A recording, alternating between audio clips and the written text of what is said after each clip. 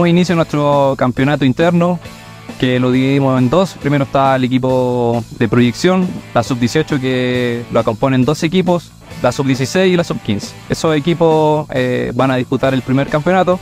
Y tenemos el segundo campeonato que lo integran la serie sub-14, sub-13, nuestra serie femenina y un equipo de la escuela de fútbol.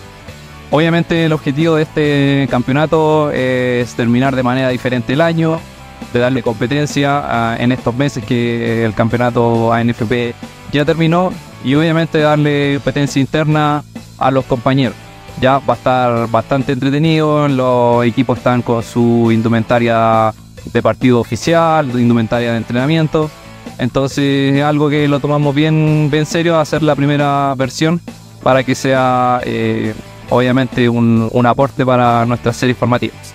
Como mencioné anteriormente, nuestro principal objetivo es terminar el año compitiendo, por eso se hizo este campeonato, ya que ya termina la, próxima semana y da fin a nuestra temporada 2023.